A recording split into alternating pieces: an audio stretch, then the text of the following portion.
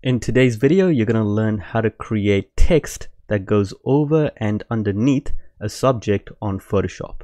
So this is actually kind of an advanced and a beginner's tutorial. Uh, so make sure you watch until the end of the video to learn all of the steps from start to finish.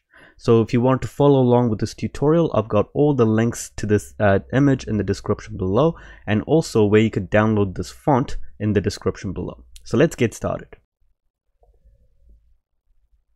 So if you wanted to follow along with this tutorial, I'll leave a link to this image in the description below. So let's right click and copy the image and open up Photoshop and let's click on create new. You can also go file and click on new and this window should open up. So Photoshop should automatically pick up the width and the height of the image that you just copied, but if it doesn't, just put in these numbers right here and make sure the measurement is on pixels and leave the resolution on 72 pixels per inch and the color mode on RGB. So let's click on create and this is the canvas we're going to work with. So let's press Ctrl V or Command V if you're on a Mac to paste the image or just go up to edit and click on paste. So first thing we need to do is crop out the background. So there's a few ways of doing this. On one, some of the latest versions of Photoshop, there's this new option called Select Subject. So if you click on the image layer, so if you don't see this layers panel, just go to Windows and click on layers right here. So click on the image layer and click uh, go up to select and click on subject. So Photoshop uh, is automatically going to check what is the subject of this photo and it's going to select it but as you can see it's not that accurate and not every single version of Photoshop will have this option. So still the best way to select a subject from a Photoshop and crop out the background is the pen tool. So the pen tool is right here. So if you click and hold, there's a few options like freeform pen tool or curvature pen tool, but just choose the normal pen tool right here. And then we're going to choose the zoom tool and we're going to zoom in. So uh, now go back to the pen tool and make sure right here at the top, it's path, not shape. So it should be on the path option right here. So click on the path option and we're simply just going to draw an outline all the way around the subject. So this is going to require some time and some patience, but this is the most accurate way to select um, a subject from a, a, Photoshop and the most and to get the most realistic effect.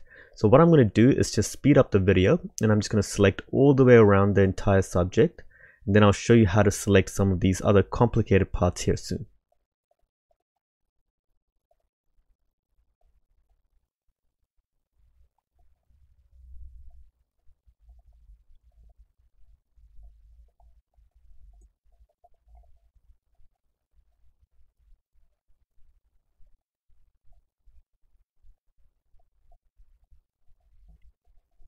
And let's say you've made a mistake and you selected some of the wrong parts. You can just undo that by pressing Ctrl Z or Command Z if you're on a Mac. Just uh, press and hold Ctrl or Command and just keep pressing Z until you go back to where you made the mistake. And then you can just redo it um, uh, again.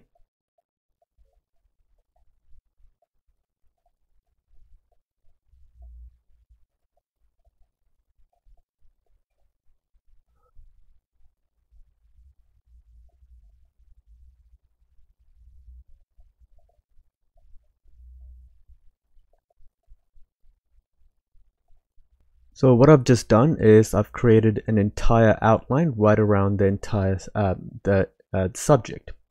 But we still need to crop out this middle part right here and I'll show you how to do that soon. But let's just crop out the background now.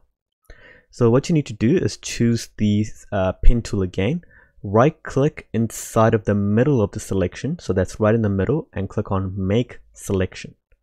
And make sure the feather radius is on zero and make sure this is ticked on and it's on new selection and just click on OK and you're going to see this dashed outline shape. That means that is a selection. So now what we can do is we can just delete the background or we can hide the background. So usually what I do is I hide the background so if we make a mistake we can always just reveal what we've hidden so the way you hide the background is with the masking tool. The way you delete something is either with the delete button or the eraser tool. But usually I don't um, uh, delete things, I usually hide them. So choose layer one. Let's just rename this to um, image and choose the image layer and just click on this little icon which is the little circle and a square icon so that's right next to the fx icon right here and that's automatically just to uh, hide the background so now we have a nice clean cropped uh, image now the middle part is easy it's just the same thing again you just choose the pen tool and we're simply just going to draw an outline all the way around the uh, background right here so let's just draw all the way around. And we're going to hide this in a different way now. So I'll show you how what, what to do soon. So let's just go all the way around again, just like before. And I'm going to right click in the middle, click on make selection and click on OK. So now we have the selection. So you can't just click on the masking tool again and uh, it's going to hide the background. It's not going to hide the background anymore. So right here, uh, right next to the image layer, um, layer, there's this new box.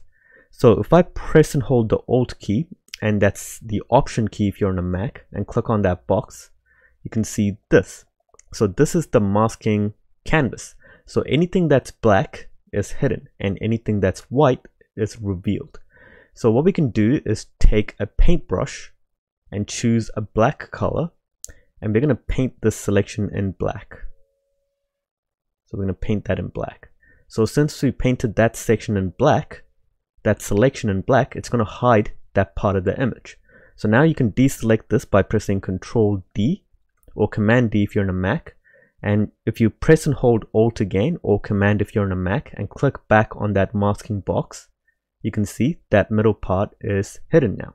So now we have a nice clean cropped looking image, but there's still a few little adjustments that we can do. So you can see there's a little bit of uh, the background right around here. So what we can do with this is let's just zoom out. Uh, what we can do is, let me just push this into the middle. We're going to press and hold control or command if you're on a Mac and click on the masking box. So what that does is it's going to select everything within that box, which is the selection that we made. So now we have a, a the selection of what we cropped.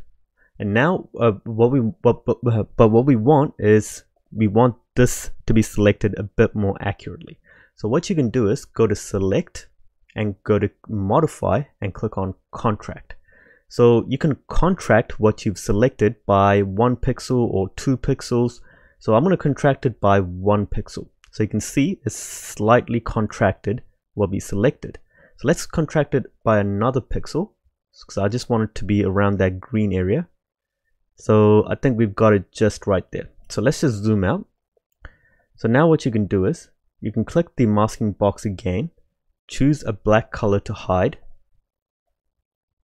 And let's just zoom around to this shoe area right here. We're gonna hide or oops, let me just oh, I forgot to do one more thing. So I'm actually I'm actually glad I made this mistake because this is a um, mistake me, people make uh, commonly. So let's undo that by pressing Control Z or Command Z if you're on a Mac. So what happened is when I tried to erase this edge right here, it started erasing the subject. That's because right now we have the subject selected. So what we need to do is select everything else except for the subject. So go to select and click on inverse. So now what we've just done is we've selected everything else around the subject except for the subject itself. So now you can zoom in, choose the paintbrush tool and make sure you have the masking box selected right here. And we're going to choose a black color as well and we're just going to hide parts of those edges right here so I'm being a little bit more picky right now but you don't if you if you don't want to be this accurate then you don't need to be but usually I try to be as accurate as possible with all of my selections to get all the edges right so maybe you can also get rid of some of these edges around here maybe some bits around here and maybe around his arms as well so you can't really see much around there, but usually the selection will look pretty good. So now let's deselect that. So you can see now it's much better now. So now we, ha we have a nice clean selection.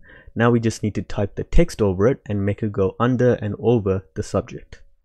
So to add in the text, you need to click on this little T icon right here. So click on the T icon and just click anywhere on the canvas and you should see some text come up. So your, your text might be in a different font or in a different size. So you can adjust all the fonts and sizes right here. So right here, this is where you change the font. So you might have some different fonts to mine. So these are the fonts that I've downloaded. Uh, there's many different places to download free fonts. Uh, Google Fonts is a great uh, website. Uh, Dove Fonts is a great uh, website. Uh, I'll make another video on that soon. But Photoshop should automatically come up, um, should come with some great fonts that you can already use. So Impact should be one, should be in there. you can also use Courier and many other different fonts.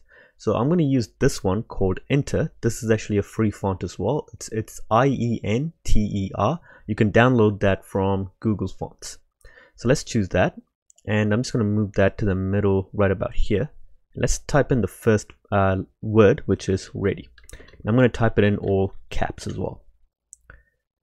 So let's make this a little bit bigger by just highlighting it and increasing the font right here to maybe I'll make it about 500 there we go. I'll just move that down just about there. And what I'm going to do is create an extra copy of the image layer and I'm going to hide the original image layer right here. So the reason I'm doing that is I'm going to start editing this image a little bit like resizing it and changing up the colors and stuff. So if I make a mistake I can just go back to the original image layer right here. So let's choose the image copy layer and I'm just going to resize it and make it a little bit smaller. And place the subject right here. And yeah maybe about there. And what I want to do is make the A and the D go behind them. So let's maybe actually I want to kind of whoops let me just undo that. Yes let me I just want to position it just right but I want to make it also easier to read as well. Uh, we can kind of play around with that later on, but uh, let's just leave it as it is for now. So what, what you can do is press and hold control or command if you're on a Mac. And then we're gonna um, uh, click on the masking box right here. And that's gonna make a selection of the subject. Then click on the text layer. And then we're gonna inverse the selection. So now everything is selected except for the subject. So now if I choose the text layer and click on the masking box, it's going to keep this part but hide all of these parts right here. So it looks like the the subject is kind of going over the uh, the, the uh, text. But now you can take this even further. So let's say you want this A, this part of the A to be kind of coming over him. So what you can do now is click on the masking box of the text layer, choose the uh, choose the paintbrush tool, choose a white color to reveal. So what we're doing is revealing the text layer right here. So you need to choose a white color to reveal and just reveal the A right here as well. So let's see what that looks like. So let's just zoom out. So I think that looks pretty cool. So now let's do the next letter, which is set.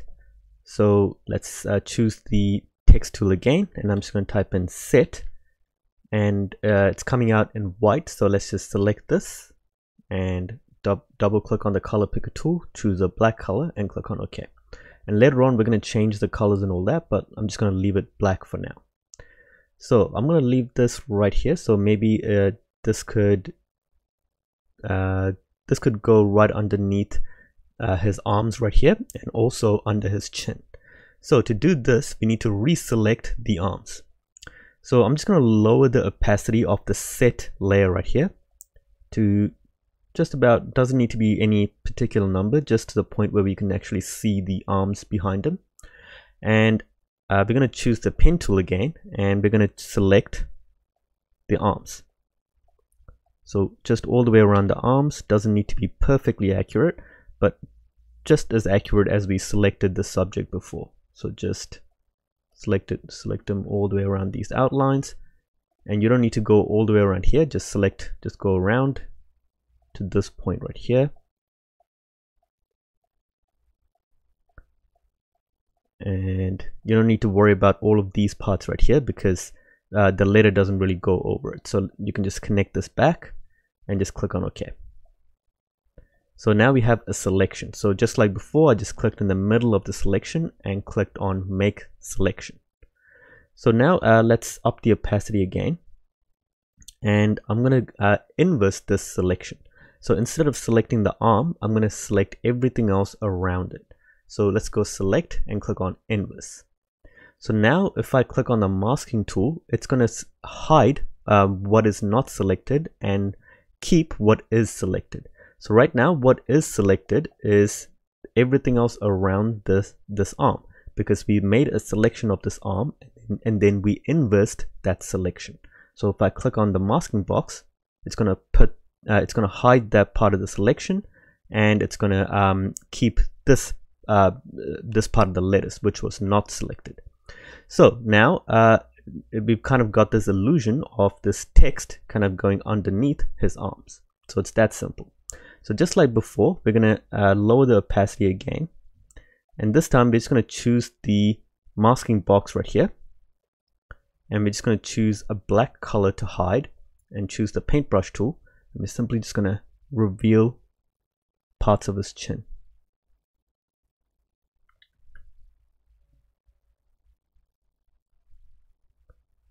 Let's zoom out. So that looks good. So let's up the opacity. So all of that looks pretty good. So I think that looks, we've got the effect so far. The next one is go. So just like before, I'm going to choose the text tool and just click on the middle of the canvas and just type in go in all caps. So let's put that right underneath set right here. So I think that'll look pretty good with the O right here and with the G kind of going underneath the arm. So uh, just like before, I'm going to uh, lower the opacity so we can see the arm uh, behind him. And let's just zoom in. And I'm just going to select the arm. So let's choose the pen tool and let's just do a selection just like this.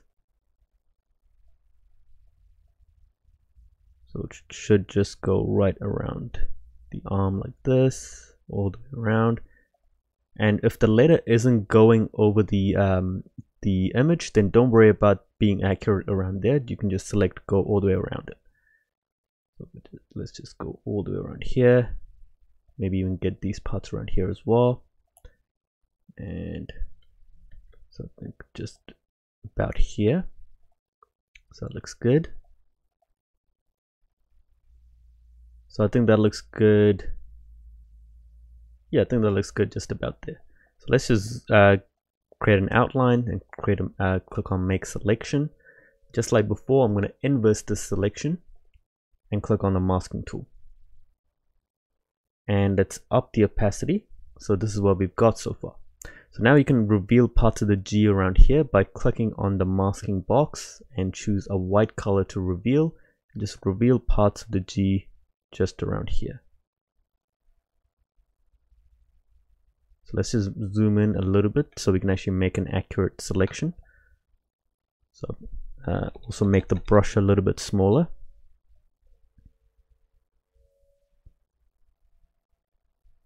So it looks good just around those little tight corners. And also around those little white out outlines so we can actually get a nice accurate selection.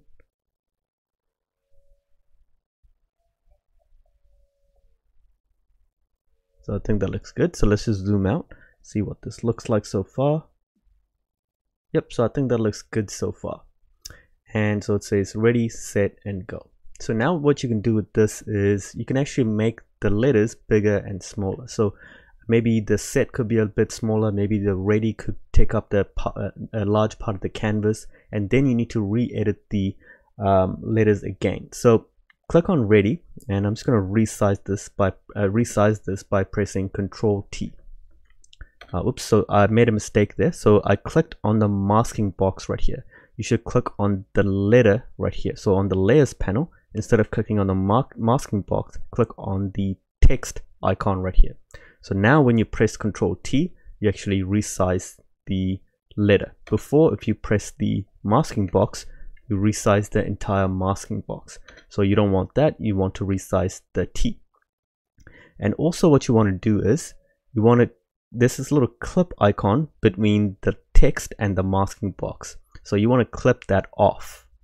So uh, what, what happens now is, so now let's say you uh, you click on the text icon and press Control T and you try to resize it it's going to uh, stay hidden behind the subject so if I didn't clip that um, little clip um, if I didn't clip that uh, little clip off it's it would have uh, it would have it wouldn't have stayed behind the subject. So you need to clip that off. So let's just resize all of this. And so it looks good. So we can edit all of this later on. So right now it looks a bit off uh, looks really off but we're gonna uh, we're gonna edit this quite a bit later on. So we're just gonna place the text nicely and hit enter so that looks good so next let's do set so just like before i'm gonna click off the little clip icon right here and click on the text icon right here on the layers panel and press Control T or Command T to resize this. So I'm not going to resize this too much because I already I think this already looks pretty good. So I'm just going to resize it just a little bit. So I think that looks good there. So I'm just going to hit enter. And just let's just leave it at that. And go. I'm to maybe move this down a little bit more. so maybe just a little bit further down there and let's just resize it a little bit more so with the letter oh that actually looks pretty good maybe we can actually make so I just made a mistake there and found out we can actually do something quite creative we can actually make his thumb kind of go underneath the G like that so I think that looks that's actually a cool effect that we can go for so maybe also this can kind of go over the arms as well or maybe his hand could kind of go over. So let's just play around with this. Um, so now what I'm going to do is click click those little uh, clips back on, choose the masking box, and I'm just going to reveal these parts of these T's right here. I mean these uh, letters right here. And so I'm going to choose a white color to reveal, make the brush size a little bit bigger. And let's just make this a little bit bigger around here. So what I just did there is I uh, I'm to lower the opacity so I can actually see what I'm hiding. Let's just zoom in a little bit there. And I'm going to hide parts of this later now because I revealed a bit too much. So let's just hide all of these little bits right here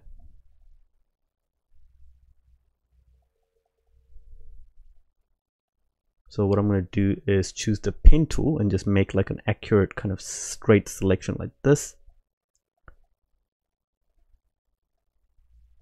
and now I can hide that part more accurately. So that looks good. So let's zoom out. So I think all of these bits look pretty good so I'm going to leave that. So over here with set let's uh, lower the opacity here again. And I'm going to hide all of these parts right here. So it should kind of kind of go under his chin and kind of under his neck as well. So let's see what this will look like.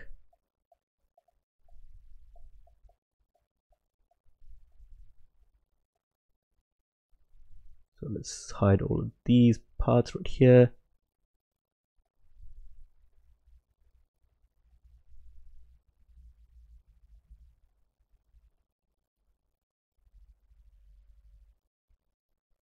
So I think that looks good and let's also hide these bits right here as well when it goes under his shoulder. Let's also hide it under his, his arms as well. So let's zoom out. So let's up the opacity and see what all of that looks like. So I think that looks a bit off. So what I might do is just reveal all of this right here around his neck.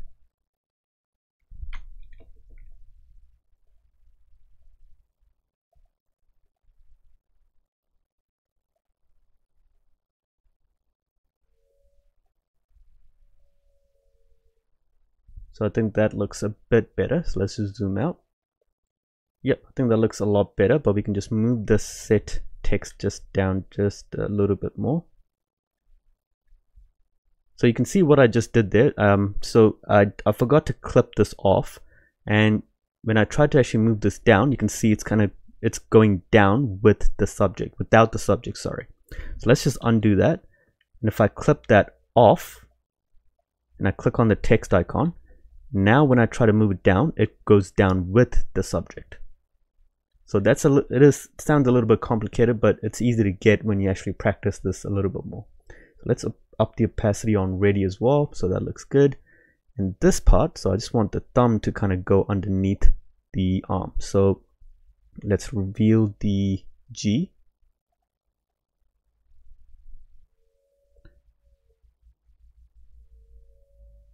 and let's also so with the arm I'm just gonna right uh, press control and get the selection of the arm. And I'm just gonna choose a white color to hide. I'm just gonna hide that right here. And also hide all of these bits right here as well. So I actually should have hide hidden that so I made a mistake there sorry. So let me just zoom back out let's also I'm just going to also add an exclamation mark right here as well so I think that looks pretty cool so so far I think that looks pretty cool so now all we need to do is just kind of change the uh, color increase the contrast of the subject so we can actually see it better and also change the background colors so we can actually use the right color palettes and make this better. So next I'm going to give it a gray background and this should be like a really light gray. So I'm just going to choose the paint bucket tool here and just choose a black color. I'm just going to paint it in black and then just lower the opacity to the point where it's just just the right gray so just about there I think about 24% I think it looks good there but we can uh, edit this uh, later on and also I'm going to change the color of the text, all the text to white. So I'm just going to highlight the text. So choose the text um, uh, tool, click on the text, highlight it, choose the color picker tool at, the top, choose a white color and click on OK.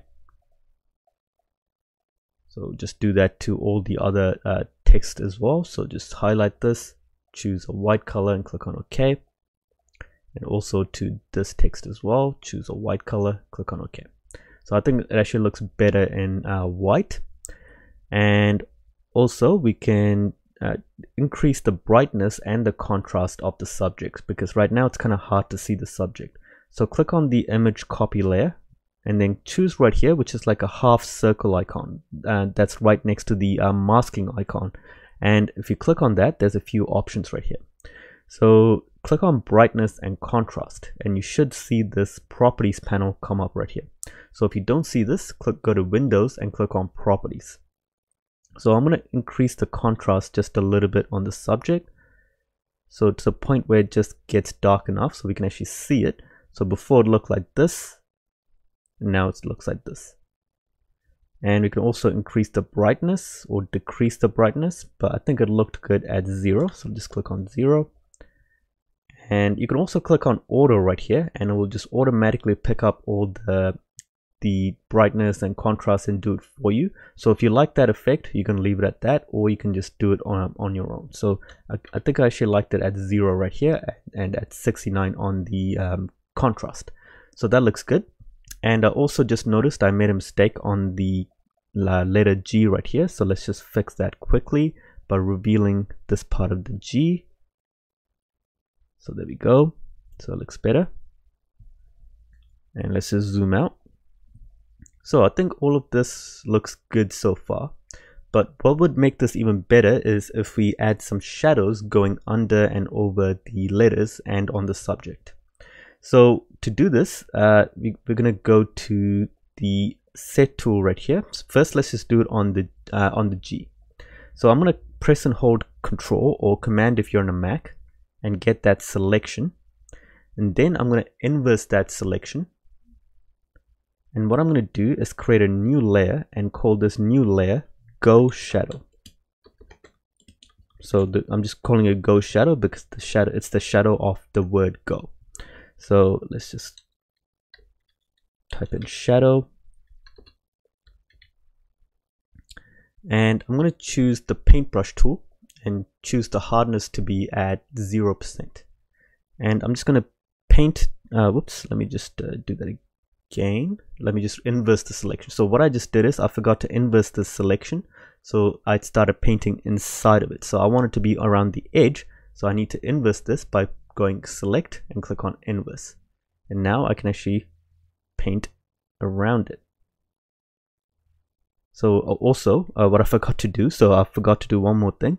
So I couldn't actually see the shadow when I was painting it. That's because the layer of the shadow is uh, below the go layer. So I need to put it above it. So let me just undo that. Just undo that again. Let's just put that right here. I'm just going to paint in just around there so it kind of looks like a shadow. Just around these edges as well. And it's quite dark right now but we're going to fix that later on. And so that looks good.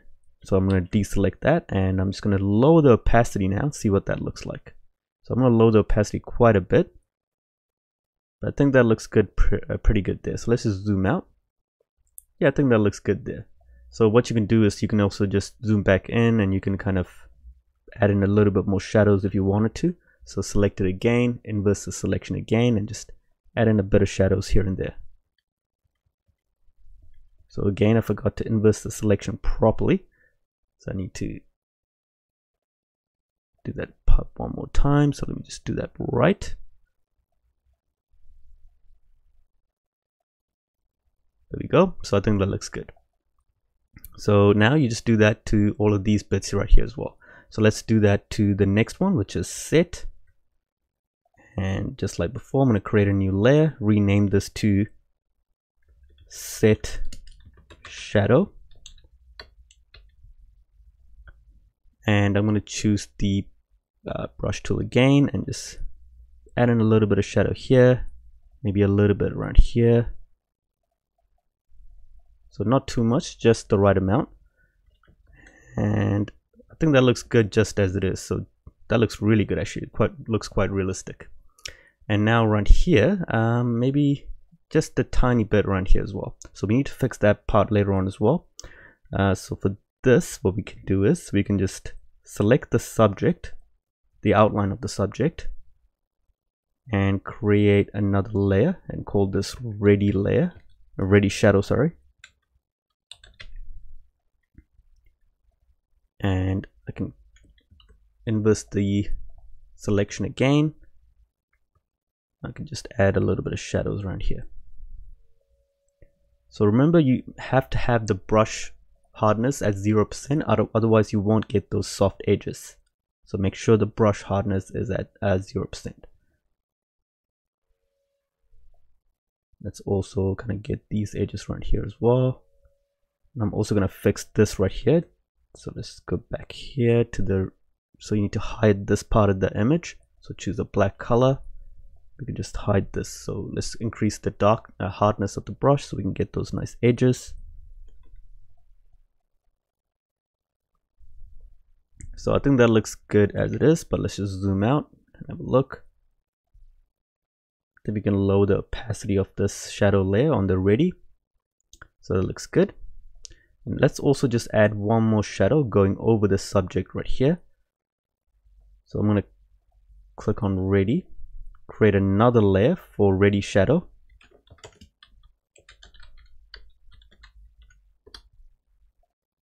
and let's inverse the selection.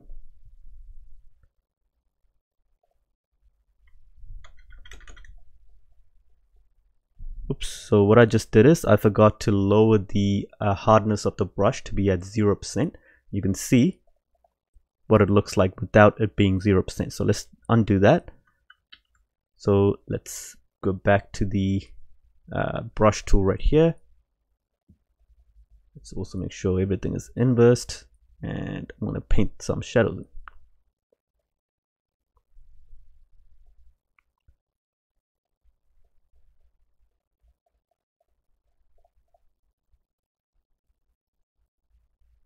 So over here, I just noticed the A, kind of the bridge of the A kind of goes over here. So I have to kind of do this part manually. So let me just undo this. And so I have to kind of do this part manually. So let me just, so there we go. So that looks good. So let's zoom out. Let's lower the opacity. So I think that looks good there. So now we've got, this is how you add text going over and under some uh, a, a, subject on Photoshop. So I hope this uh, you found this video um, helpful. Uh, remember you can do so many different things with this. You can add different colors, different fonts, different subjects, uh, different ways uh, ways of cropping and masking. And this is a bit more advanced and a bit more takes a bit more time to crop the image right. You have to recrop it to put it underneath the image and all of that. So it does require some patience and some time. So if you made it this far into the video, make sure you hit that like button. I've got many videos coming out, not just on Photoshop, on 3D editing with um, Blender, Illustrator tutorials, character designs, design principles. I've got many videos planned. So make sure you, uh, you subscribe and hit the notification bell so you'll be notified when I upload those videos. So I'll see you in the next video.